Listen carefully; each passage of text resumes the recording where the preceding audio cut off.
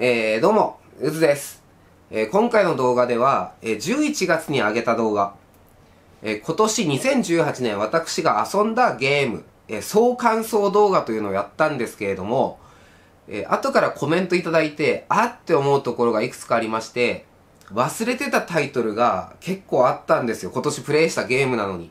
えー、その忘れてたタイトルのお話と、あと追加でやはり12月から遊び始めたタイトル、なんと3つもありました。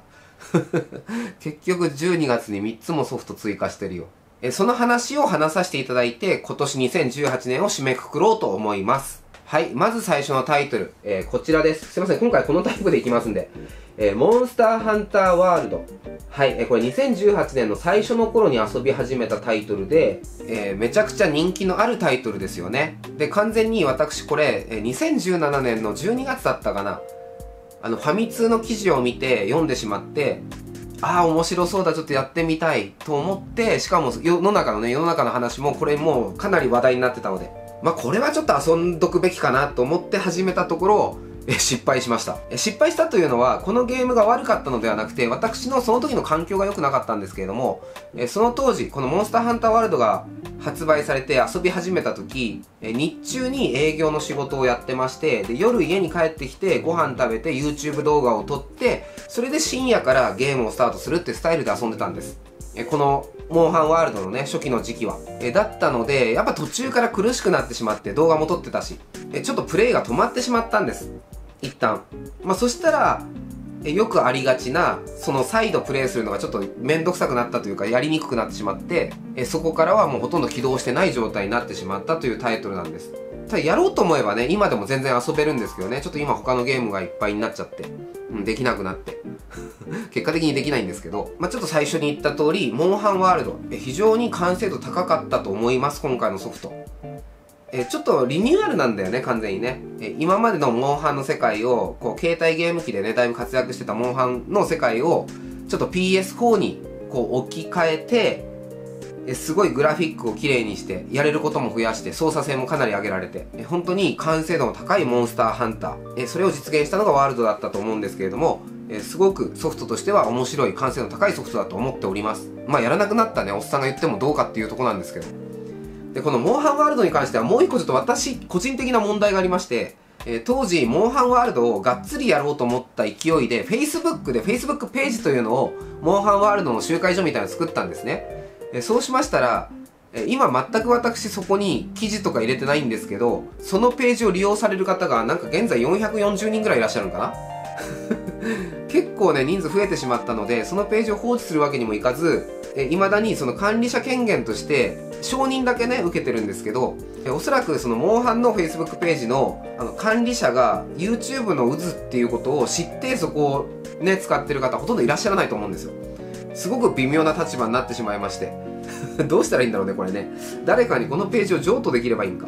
はいえそんな感じでございますモンハンワールドはい。で、次に漏れてた作品、ドラゴンボールファイターズ。はい、ドラゴンボールファイターズね。えこのゲームもすごくいいゲームで、今でもね、ちょこちょこと遊びはするんですけれども、あの、本格格闘ゲームを作ってるチームが作成した、本当に本格的なゲームに仕上がってたドラゴンボールのゲームなんですけれども、2.5D 表現って呼ばれるものですよね。あの、アニメがすごいリアルに動いてくれて、もう新しい映像表現をなんかこう作っちゃったみたいな。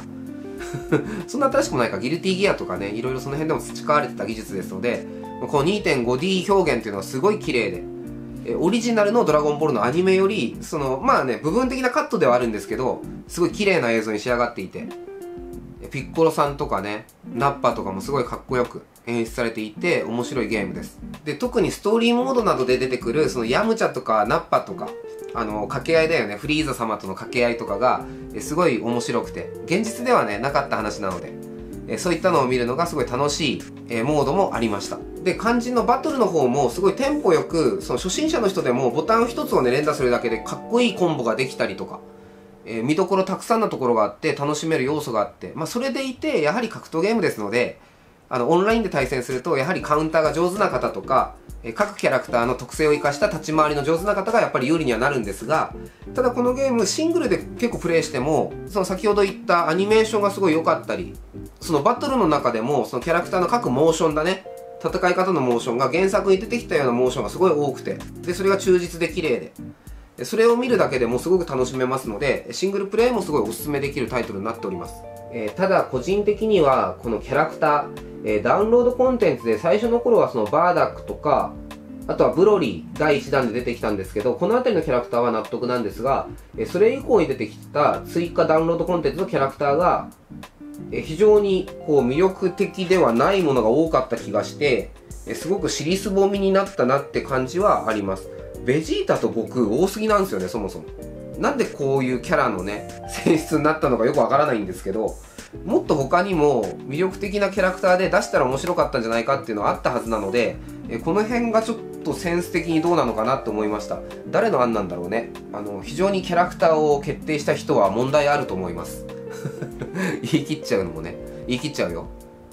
ダメだよ。はい次の忘れていたタイトル。なんかやだね。今回全部忘れてたタイトルだからね。はいデトロイト・ビカム・ヒューマンこれねこれ本当忘れてましたはいよくわからない方のために、えー、こんなビジュアルのゲームなんですえー、ちょっとね、知らない人も多いかもしれないですね。すごい人気タイトルでもあるんですけれども、えー、近未来のデトロイトシティ、あの、アンドロイドがもう日常生活に溶け込んでる時代設定の、あの、アドベンチャーゲームだったんですが、すごく面白かったんですよ。あの、グラフィックがともかくすごい綺麗でリアルで。で、基本的には選択肢でどんどん進んでいくゲームなんですが、その合間に、アクション要素みたいなものもあって、こう、キャラクターが走り抜けていくようなシーンとかで、選択肢をこう短い時間で迫られて押して、で、アクションをこなしていくっていうところもあったり、本当によくできてるゲームでした。バランスが非常に良かったです。で、3人の主人公がいるんですが、3人の主人公それぞれの物語ですごい感情移入ができる話が多くて、で、その一つ一つの選択肢も、まあ、感情移入しちゃってるから悩まされるような選択肢が多くて、えすごく面白い、なんか映画、映画、まあ映画系ソフトだよね。映画系ソフトなんですけど、ゲームとしても成り立っている、すごいいい体験をできたというタイトルでございました。まあ、ただその中でそのカメラワーク的なものでどうしてもこういったゲームってそこがつきものになってしまうんですがあの移動シーンとかで暗いところでねなんかこう物を探さなきゃいけないシーンがあったりするんですけどそこがすごくえー、ものがね見えにくくて煩わしく感じてしまうところもあったんですけれども、まあ、そそれはちょっと演出上仕方ないかなっていうところもあって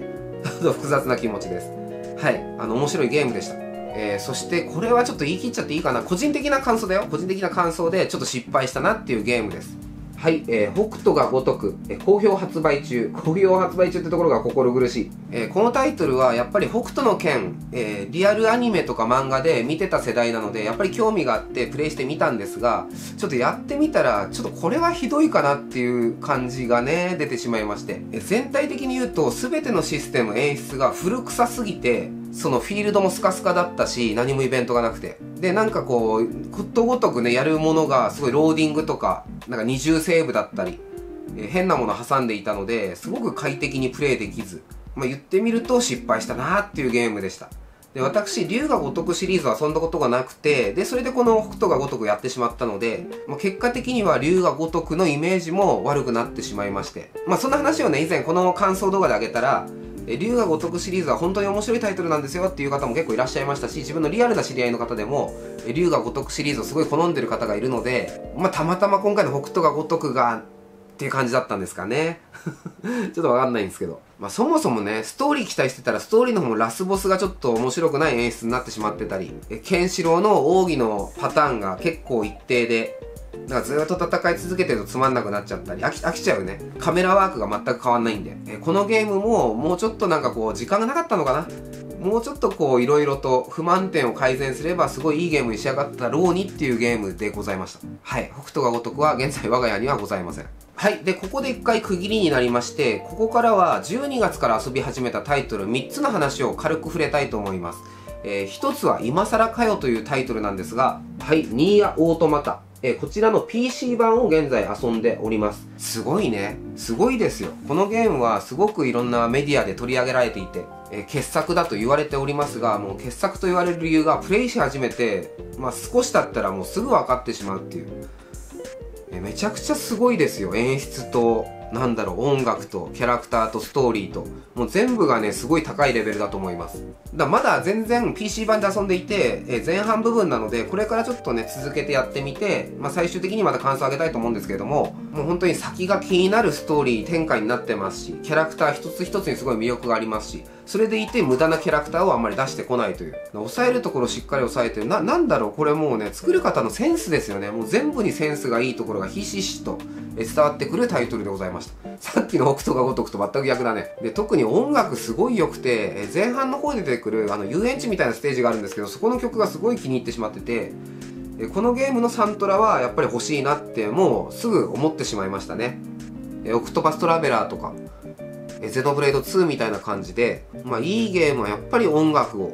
ちょっとね、そばに置いときたくなるっていう、そういうタイトルです。はい。まあ、ニアオートマタに関しては、クリア後に、クリアしたいんですけどね、クリア後にちょっとまた話を上げたいと思います。で、12月に始めたタイトルで、この話はちょっとさらっと流そうと思うんですけども、えー、ウィッチャーシリーズのタイトル、ウィッチャーテイルズを PC 版で遊んでまして、これも PC 版だね。まあ、マニアックって言えばマニアックなんですが、基本的にはカードバトルを主にした、えー、新しい感覚のゲームです。そのカードゲームもすごい本格的に作られていて、えハマるとすごいね、ドハマりするらしいんですけど、私そこまでまだちょっとハマれてないんですけど、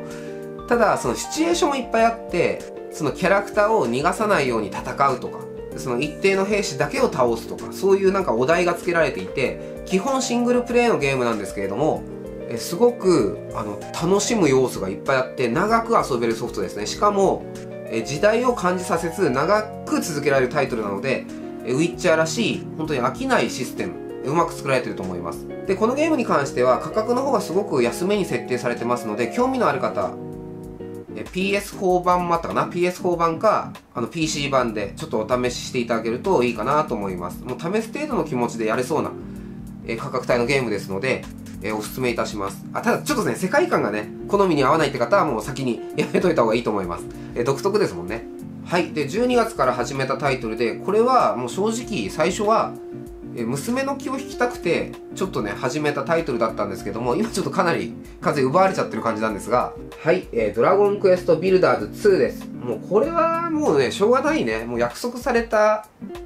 両芸ですよ。えー、だって1の時に1、1もすごいいい作品だったんですよ。1の時に言われてたその欠点ポイントみたいなところを全部改善されていて、すごい遊びやすい作りに今回されてます、2の方は。で、具体的な話にすると、例えば、あの、設計図っていうものがあって、それを引いていろいろものを作ったりするのも一つなんですけれども、ものづくりの一つなんですけれども、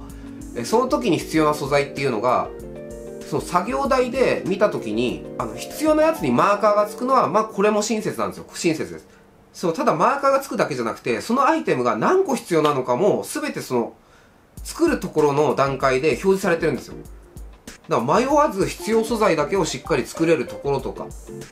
えあとは移動速度を上げられるダッシュも最初から使えるとか、もう本当に快適に遊べる要素をいっぱい詰め込んでいて、で、しかも最初の方の島だと、いろんなやれることっていうのを、あの、順序立てて、どんどんやれていけるので、やれることをゆっくりと体に染み込ませてくれるような、えそういう親切な作りにされております。よくいろんなゲームでスマブラがこの間叩かれてたよね。あの、チュートリアル的なものがなくて説明もないから、すごい分かりにくい。初心者の人がとっつきにくい。なんかそれが制作者の方の狙いだったらしいんですけど、まあ、ちょっとプレイしてるユーザーにあまりハマらなかったっていうところがあって。でもこのドラゴンクエストビルダーズはそれと反対で、遊ぶ方が最初から順序立てて遊びやすくなるために段階を設けてすごいストレスフリーで説明書なくても、まあ、説明書なくても遊べるっていうのがあのすごく上手にやられてるタイトルだなと思いました。まあ珍しいパターンですよね。任天堂のタイトルがそういったところで親切さで失敗していてスクエア・エニックスのソフトがそういうところ成功してるって。別に珍しい形でもないか。で最近プレイしてるそのイベントの中でお気に入りのものが一つありましてあの野菜とかに栄養を与えるための肥料。肥料を作るのにやっぱり肥やしが必要だってなるわけじゃないですか。でその肥やしがどういうふうにできるのかっていうのを鳥山明先生のキャラクターたち可愛いキャラクターたちがイメージを壊さないようにうまく表現されてるところがあってそこがすごい好きでした肥やしの作り方